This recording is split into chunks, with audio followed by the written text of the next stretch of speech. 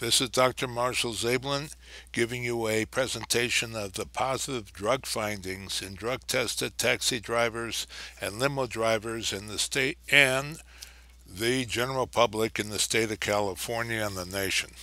Norton has extensive experience in drug testing. We have done police stations and prisons, correctional institutes, city bus lines in Texas, we do drug testing for the state of New Mexico, and we do municipal taxi cabs in the city and county of Los Angeles, Orange County, regulated by OCTAP, Orange County Transit Administration, and in Marin County in Northern California, and in the extreme south of California in Riverside County since 2001.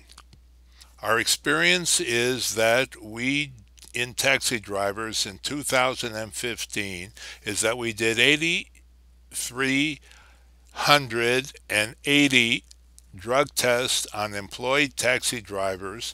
There were 13 positive tests. The rate of positivity is 0.0015 in these working drivers. That means one in every 644 taxi drivers were positive for illicit drugs. These 13 drivers that were positive were taken off the pool. Pre employment tests numbered 308. There were six positives. These positives did not work. Our limo experience in California in 2015 is that 1,000 random tests were performed on limousine drivers. There were five positive drivers. That positivity rate was 0.005. One in 200 limousine drivers tested positive for illicit drugs. They had 488 pre employment tests. Three drivers were positive and did not work. So, what's the rate of people who do rideshare? The general population. Well, the National Institute of Drug Abuse did a survey of people in the year 2013 and 12 to see what the rate of drug use was. Let's look a little deeper. And we can see from this graph that people 21 to 25 had about a 21% incidence of admitting drug use last month. As people age, the rate of drug use decreases to 15 to 16 percent, to 13 percent, to 10 percent when the people have reached 40 years of age. The National Drug Institute of Drug Abuse also noticed in the survey that 6% of college age adults, not college students, use marijuana every single day, and that 4.5% of these people used alcohol every day. The analysis of data shows that anywhere from 1 in 5 to 1 in 10 drivers can have a positive drug test.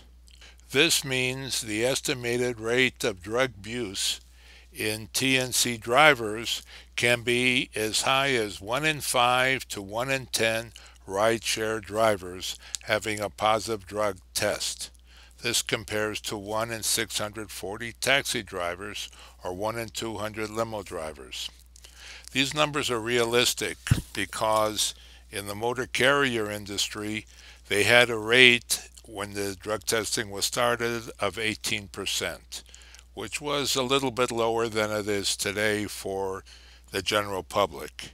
And since that time, the rate of positivities in the trucking population has decreased and the rate of fatalities for every million miles they drive has fallen 80%. Now, if we look at which drugs are abused, marijuana is number one, and number two is psychotherapeutics. This is the OxyContin and the hydrocontin, uh, hydrocodone and Norco and the opiate prescription drugs which are fueling an epidemic of opiate addiction and secondary heroin addiction. These two drugs are high and above cocaine, inhalants. Heroin has doubled in the last year. In 1995, California Law 53075 required people who carry passengers for hire to have drug and alcohol testing similar to the U.S. DOT model. In 1995, there were shuttles and limousines, and these were to be regulated by the California Public Utility Commission, and the taxis by the cities in which they operate. In 1995, there were no rideshare drivers driving for hire. But also in 1995, they had floppy drives and they had CDs, but they didn't have any memory sticks. Now, the five drugs that taxi and the limousine and the trucking industry are tested for are cocaine, marijuana, amphetamine, methamphetamine, ecstasy, opiates, heroin, codeine, and morphine, and PCP. Rideshare drivers are all over the United States and they are in New York City. In New York City, they have 15,000 taxis and they have 15,000 rideshare drivers. In New York City, rideshare drivers follow New York City Taxi Commission rules. Rideshare drivers do do drug testing as required by the City of New York Taxi Commission. Rideshare drivers have commercial plates. Rideshare drivers in New York City have commercial insurance. Why? If rideshare drivers do not follow New York City Commission rules, their cars are impounded. Safety is what elected officials and state and city agencies are created and and that's their purpose to to provide for the common good. Compliance with safety regulations depends on the will and determination of elected officials as well as the agencies. Now, why should a tourist fly from New York City and arrive at LAX or Palm Springs Airport or San Francisco International Airport and not have a drug tested driver with commercial insurance? Would you like to pay for a ride with a driver without commercial insurance who is not drug tested? Now, Dr. Zablin and Norton were endorsed by the Greater California Livery Association to bring these facts to members of the California State Assembly and Senate. And we've been there a few times to meet the representatives and lawmakers. Now, how can you test all these people? Well, you could do it with an app the IDC, Independent Driver Consortium, which can provide drug testing for all these people via an app. They can comply with the same regulations as taxis and limousine drivers.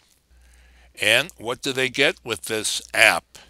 They get for $99 a pre employment drug test so that if they're positive, they don't enter the pool. Random drug testing, so they are discouraged from using drugs, and if positive, are eliminated from the pool. Random alcohol testing, no drinking four hours bottle to throttle before coming to work or during work. Post accident drug and alcohol testing. Drug alcohol education videos so they know what they're getting into and reporting to third parties. In other words, with the permission of the independent contractor, we could report his drug tests to his contracting company so they could turn off his app, or to the city in which he regulates, or to the PUC. The drivers release the contractee to see their test results as well as the Taxi Commission.